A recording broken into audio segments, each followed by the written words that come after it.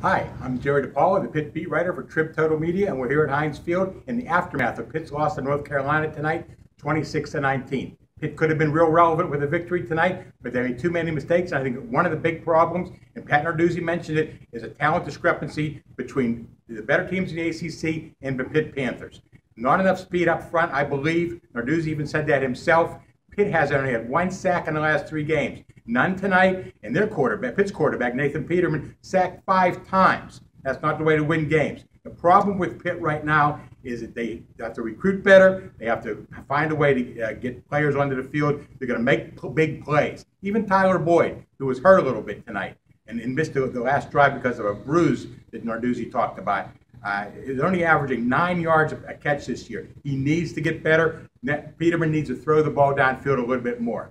Pitt plays Notre Dame next week. It won't matter. But after that, Pitt has an opportunity to win out and beat, beat Duke, Louisville, and Miami and still win the division, but they have a lot of work to do. Follow my coverage in, in, in TribLive.com on the Pitt Panthers the rest of this season.